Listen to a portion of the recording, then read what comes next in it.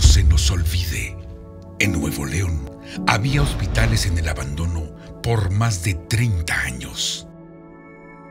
Como en ciertas naciones del mundo y en algunas partes de nuestro país, la emergencia sanitaria evidenció limitaciones y carencias. Aquí en Nuevo León enfrentamos la contingencia con nuestras fortalezas.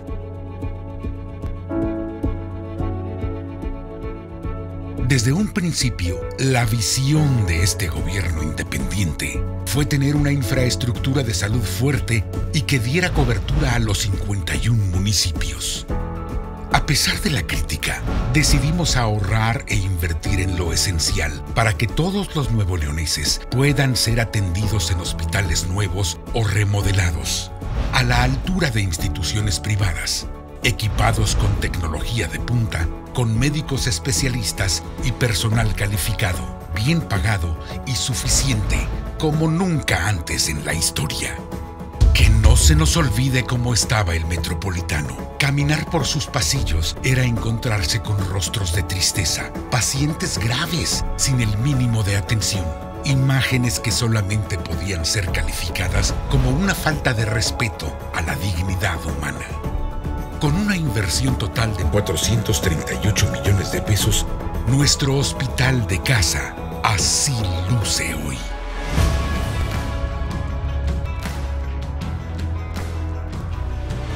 Y se encuentra en proceso el nuevo hospital psiquiátrico en Escobedo, el más grande del país, en el que se han invertido 160.5 millones de pesos o la moderna unidad de shock trauma frente a la carretera 57 en San Rafael, en Galeana, con una inversión de 41 millones de pesos.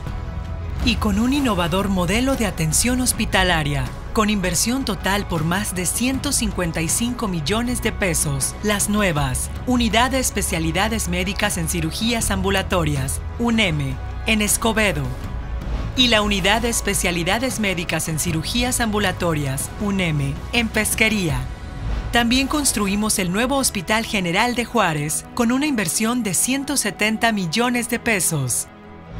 Y remodelamos completamente la Clínica del León en el centro de Monterrey, que con recursos por 150 millones de pesos beneficia ya a 52 mil derechohabientes. Para atender como se debe a 65 mil maestros y sus familias, rehabilitamos la clínica de la sección 50 del CENTE en Monterrey, invirtiendo 81 millones de pesos. Que no se nos olvide, rescatamos grandes obras de salud que dejaron abandonadas irresponsablemente, compromisos que solo este gobierno independiente fue capaz de cumplir como la conclusión del Hospital Tierra y Libertad en Monterrey, con 187 millones de pesos, o el Hospital General de Sabinas Hidalgo, con una inversión de 545 millones de pesos. La entrega del nuevo Hospital de Montemorelos, con recursos de casi 442 millones de pesos, beneficiando a más de 300 mil ciudadanos del sur del estado.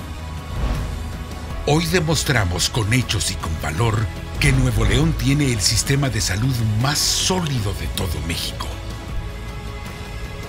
Hechos con libertad en Nuevo León. Quinto informe del gobierno independiente.